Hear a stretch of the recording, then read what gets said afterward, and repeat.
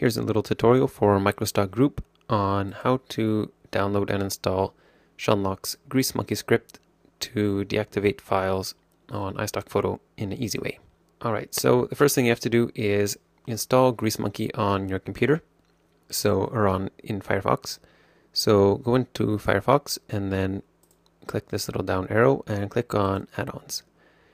And then you should be on this get add-ons tab and then you can search all add-ons up top there and type in Grease Monkey. And then you'll see this one here with a little monkey and click on install. And then it'll say it'll be installed once you restart Firefox, so you can restart Firefox. And now when you look at your extensions, you can see that Grease Monkey is there. And now you have to install Sean's script inside Grease Monkey. So uh, you have to find it first. I'll put a link to it in the description of this video, or you can just search uh, Grease Monkey Sean Locke and you'll probably find it.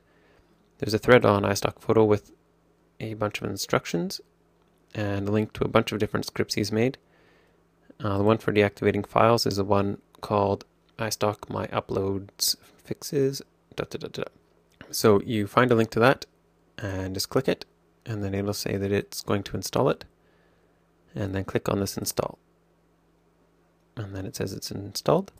Now if you go over to iStock Photo and click on My Account, Contributor Tools, and then My Uploads, and when you install the script, you'll it'll look like this. So you'll have a few more columns up here, and most importantly for this tutorial, you will have the deactivation column.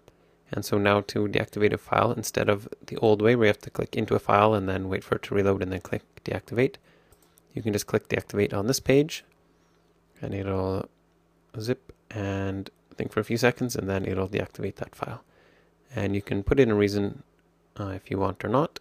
And then after a few seconds, it'll say executed and that file will be deactivated. And so to deactivate a large number of files, you just have to go through your files and click the deactivate button on all of them. But if you want to speed things up even more, you can go to your Firefox add-ons again and search for iMacros for Firefox. It should look like this.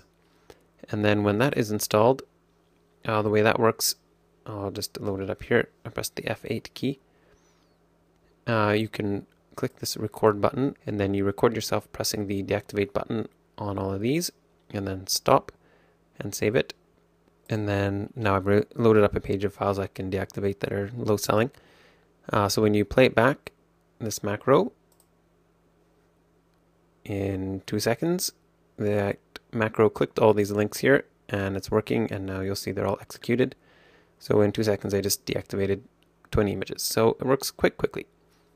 And so you can thank Sean Locke for making that nice little script and the iMacros guy for making his add-on.